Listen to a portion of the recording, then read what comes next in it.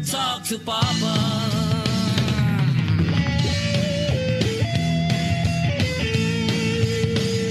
Hello, good morning. Hello? Hello po. Good morning. Anong pangalan mo Good binibini? morning. Nicole po. Nicole. Ah, sige Nicole, welcome dito sa Talk to Papa. Kasama si Papa Marky. Balita ko, problemado ka daw. Oo nga po eh. Anong problema, Nicole? Ano po kasi, may naging asawa po ako dati. Asawa, kasal ba ito o kasal-kasalan? Sakal po. Hindi po. Ano, ano nga? Ano po kasi, may asawa po pala siya. Ay! Kabit ka! Kabit ka!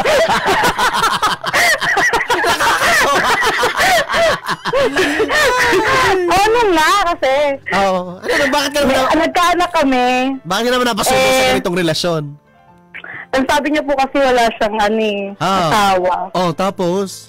Eh, umuwi na siya sa province nila, tapos nagkaroon kami ng anak. Ay! Iniwan niya na ako. Oh, binuntis ka lang.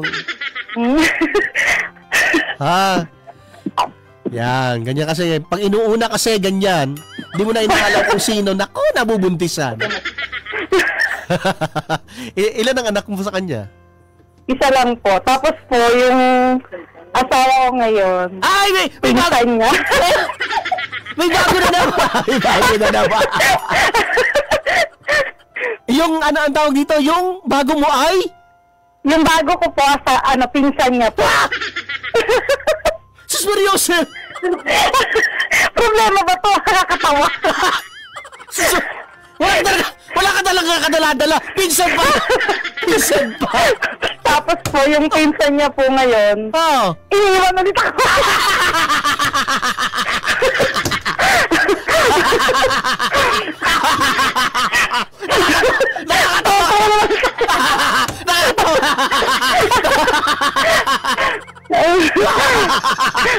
Nakakatawa ka talaga. Natu na, natuhog ka na naman magpagpinsan.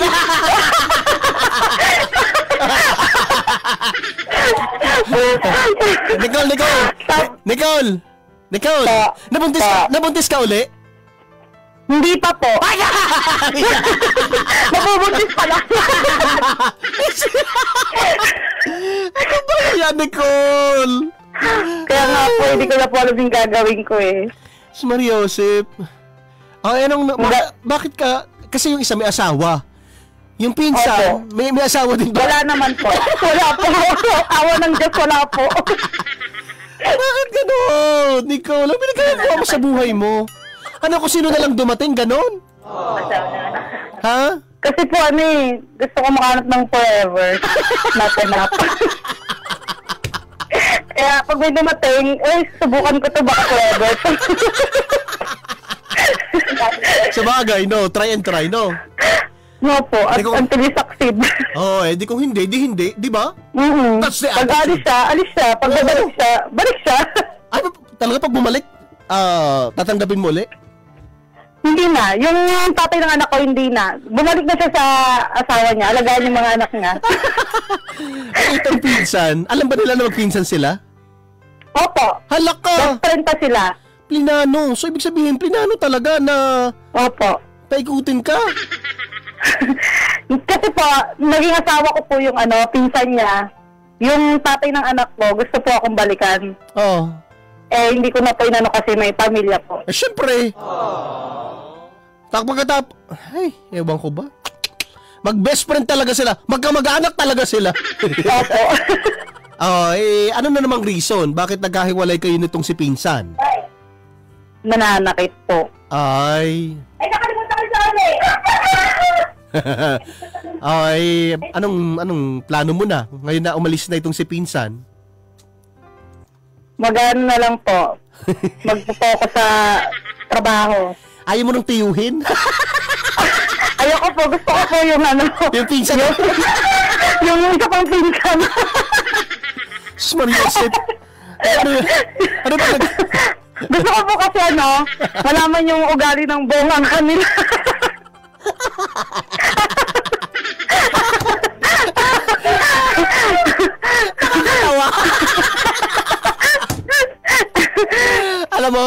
Pag nag-family reunion, wag ka attend. Gusto ko pa pong mabuhay kaya hindi ako hindi. Hindi rin. Pag may family reunion, nagkita-kita lahat ng lalaki doon sa angkan.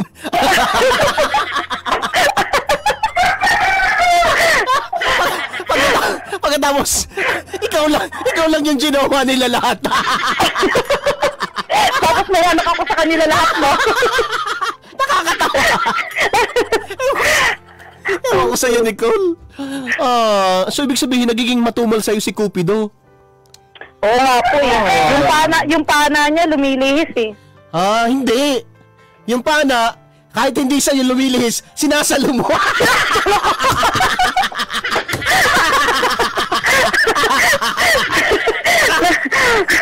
Nicole, nakakatawa. Ewan ko sa'yo, Nicole. Ay, bakit? Ano, ba, ano bang hinahanap mo sa isang lalaki, Nicole? Yung ano po, yung ano, Ano? hindi ko na rin alam eh. oh, pero alam ko naman kahit kahit uh, dinadaan natin sa sa sa tawa, dahil nakakatawa naman talaga. Dinadaan na lang natin sa tawa eh, no? Mga mga sitwasyon. Opo. Kasi wala na naman tayo magagawa.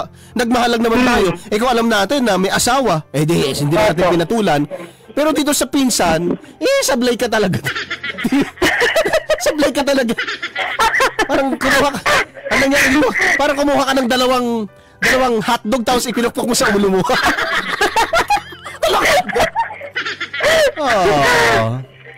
Ako, kamusta naman yung bata? Ilang taon na? Isang taon pa lang po. Isang taon pa lang. Eh, sinusuportahan o wala nang pakialam? Wala po silang pakialam. Di ba? Ang ang galing, yung babalik pa daw pagkatapos sus, ni sustentong ni wala. No? Oo nga po eh. Okay, may trabaho ka man. Ay, ba, kumusta na ang buhay ngayon? Meron po akong trabaho ano po, sa factory po. Ikaw ba, Nicole, matanong ko, ano bang hinahanap mo sa isang lalaki? Ang hinahanap ko po sa isang lalaki ay... Ay? Tananananan. ano? Yung lolo ko ano ka. po? Bukod sa lolokohin ako, yung paaasahin ako. Hindi po, ang gusto ko sa lalaki yung ah. Mahal ako. Oh. Saka yung minsan hindi ako mahal. Yung nag-aaway kami minsan. Basta ganun. Ewan ko din lang sa... Ewan ko din naman sa... Kaya napupunta ka sa maling tao eh. Ha? Kaya nga eh. Okay, so ngayon, anong nangyari na? Ngayon po, ito, work-work mo ng ate mo. Oh. Tapos, meron akong nagugustuhang bago eh. Naman! Ito na naman! Hindi naman hindi naman pinsan. Pamangkin.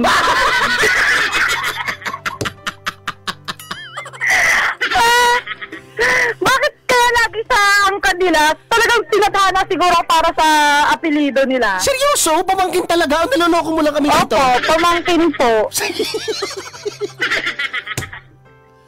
Bakit dun sa angkan lang na yun? Bakit ganun? Hindi ko alam eh, bakit bakit sa kanila lagi? Pero Pero Pilit ko naman nilalayo yung sarili ko. Pero alam mo na pamangkin siya nung dalawa. Kailan lang po? Eh wala na, naging crush ko na siya eh. Hindi ko na Ah, mababawi yun. oh. Tapos, paano na to? May asawa siya eh. Ay. Oo. Hindi ko alam, ba't ganito? Ah, so, gusto, gusto mo talaga komplikadong buhay mo? Gusto ko siguro nai-stress ako. Ah, sino po dyan? Gusto ng extra. Ito pong babae na ito ay okay lang sa kanya na may asawa. oh. Pero malungkot, pero kakayanin. Para sa iba pang darating. Aho, alam mo kung bakit yung mga tao ay nahihirapan at nagiging komplikado yung mga relasyon nila? Ha? Ah. Kasalanan din nila. Ang laki Oo ng ambag nila sa problema. 'Di ba? Noong una, pwede mong sabihin na hindi mo alam. 'Di ba? Kaya kaya ka naloko eh, kaya naging biktima eh. Kaso yung paulit-ulit na lang. 'Di ba? Ibig sabihin, pinipili mo na ikaw yung paglaruan nila. Kasi pumapayag ka. Kasi okay lang sa'yo. No? Ngayon alam mo na na may asawa, ay kinikilig ka pa. Di ba? Basta wag lang Hindi ko alam kung kilig ba to. Natatawa na lang ako sa buhay ko eh. ah, basta wag lang malalaman ng asawa. No? Pwede. Di ba? Ang haba pa naman ng buhok mo. Kung ako yung asawa, kakalbuhin kita. Di ba? Eh, isa lang naman yung angka na pinanggagalingan ng, ng, ng, ng, kung anong ginagawa mo sa buhay mo eh. Di ba? Kanina natatawa ako pero ngayon hindi na. Di ba? Parang ang, ang daming mali. Kanina, yung, yung, yung, yung una yung mali, pero ngayon parang ikaw na yung mali. Di ba? Paano tayo mag expect ng isang masaya at okay na relasyon kung yung mga desisyon na ginagawa natin mali?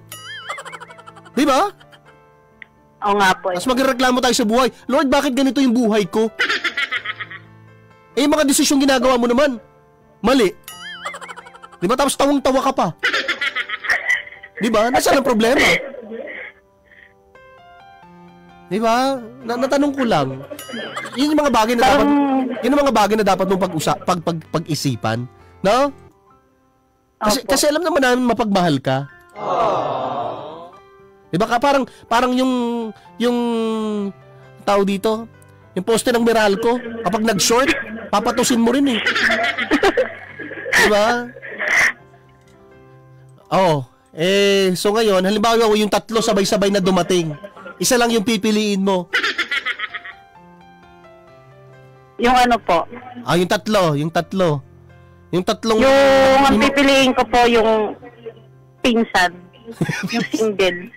Eh kaso iniwan ka nga, titikman ka lang eh. Intayin mo kasi yung meron pa yung tatlong tiyuhin. Lahat din may asawa. 'Di ba? Para pinagpapasapasahan ka na lang ah. At ang masaklap nito, para pumapayag ka pa. Kasi pa paano na? Mayroon pa yan. Kababanganak pa lang. Ah, pati yun. Isunod muna. Di ba? Eh, parang di na ako makatawa. Hindi dahil sa naubos, pero parang... Parang nangingilabot na ako. parang, di ba? Ay, paano na? Anong anong gusto mo itanong sa ating mga bida-bida? Ha, Nicole. Ano po? Anong gusto mo itanong sa ating mga bida-bida? Ano bida-bida po? Ah, anong gusto mong itanong na ihingi ng advice sa ating mga taga-subaybay? Um, paano po magseryoso? Ah, kailangan magpaloko ka muna. Tapos yung manloloko sa'yo, isang angkan lang. 'Di ba? Pag naubos na yung angkan, baka mag, mag- maging seryoso ka na.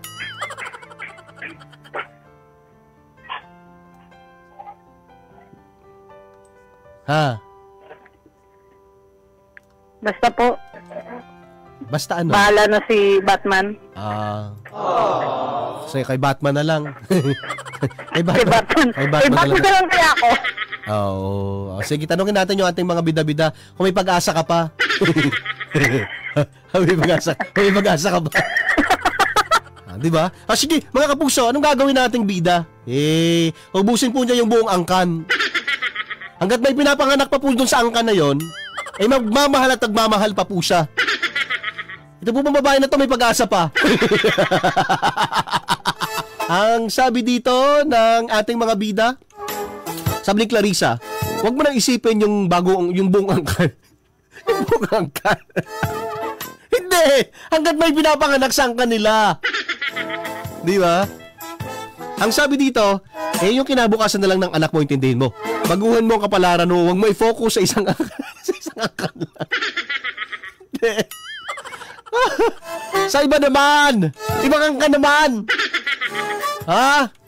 Sabi ni Sabrina, mas mahalin mo muna sarili mo at alagaan mo ang anak mo. Marami diyang lalaki. Pero, meron darating sa'yo, antayin mo lang ate Nicole. Sabi ni Rizal sa panahon ngayon, hindi ganda ang hinahanap ng matitinong lalaki, kundi babaeng mapagkakatiwalan, madaskartes. Hindi rin. hindi rin. hindi rin. Ah, sabi ni Mitch, life becomes complicated because people itself makes it more complicated. Pag alam mong bawal, wag mo pasukan. Di ba? Ganito lang yan. Halimbawa, may pinto. Nakalagay sa pinto, huwag pumasok, nakakamatay. Di ba? yung mga tao, pasok pa rin ang pasok. Pagpasok, nahulog. Di ba? Yung iba nakasabit. Tapos magtatanong, bakit ganito yung buhay ko? Miserable. Tapos Mariosep naman, oo. Kung alam mong mali, wag mo na ituloy. Hindi nakakatuwa yung pinagpapasapasahan ka lang. Once in a while, you need to treat your life ser- uh, seriously. Let's uh, let this guy respect you and treat you like a true lady. Hindi yung parang pinaglalaruan ka lang. Sabi naman ni Reed, utang na loob, magtinutuno ka naman for the sake of your child. Lalo pat may anak ka na, at palakihin mo ng maayos para hindi pagmanahan ng anak mo. Ay, grabe. Grabe ka naman. Masyado ka naman, Reed, ha? Masyado ka ng bida-bida, ha? Oo. Oo, sabi naman dito ni Mary, magseryoso ka girl para sa anak mo at kinabukasan ng anak mo at ayusin mo na yung sarili mo at tubagin mo yung anak mo at mag-work ka para sa anak mo, puro anak. Hindi mo pwede sarili naman niya. Saka ka na maghanap ng lalaking darating yan para sa'yo. Huwag ka lang magmadali. Grabe, ano, mga kapuso. Hey, pakinggan natin ang desisyon nating bida. Hello? Nicole? Hello po. Oh, hey. Napakinggan mo yung sabi ng ating mga bida-bida. Opo.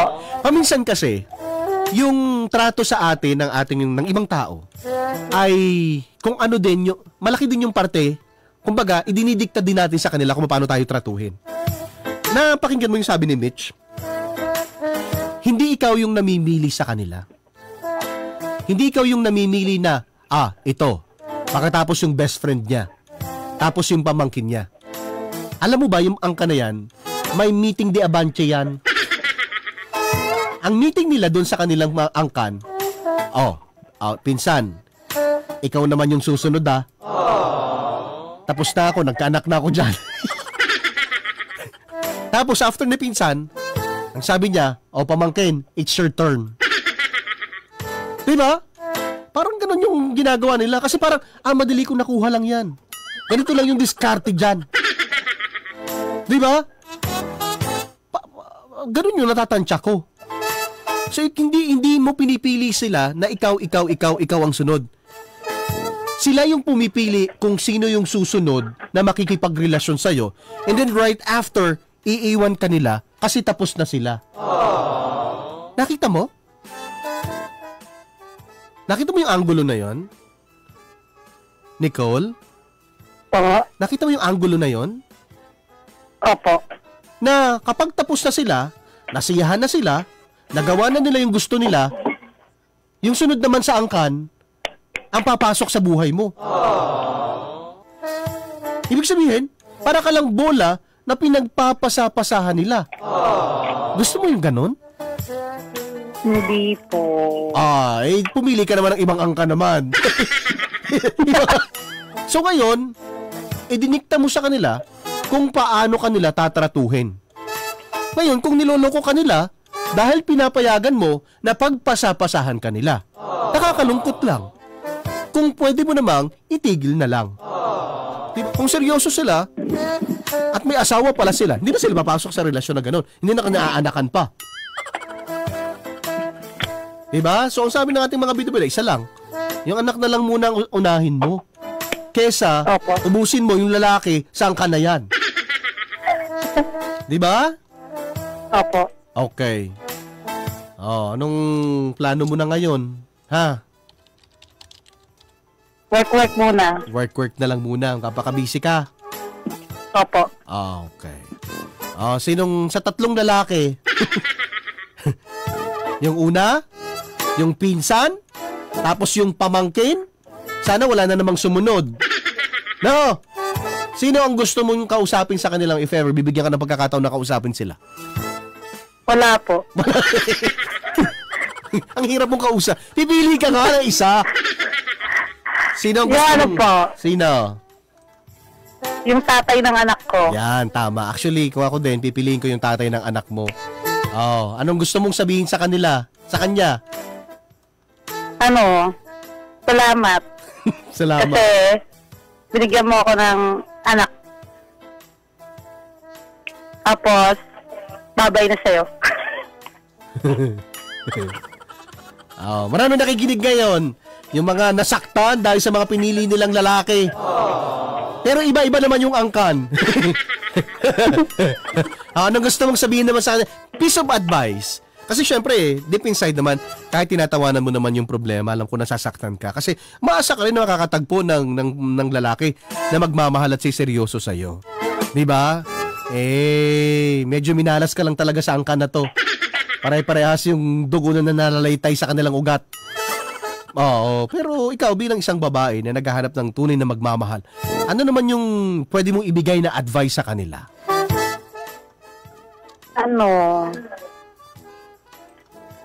kilalanin mo muna bago ka pumasok sa relasyon. Ayun lang. Okay. Maraming salamat, Nicole, sa nag-enjoy kami sa kwento mo. Barangay LS 97.1 97.1 Number 1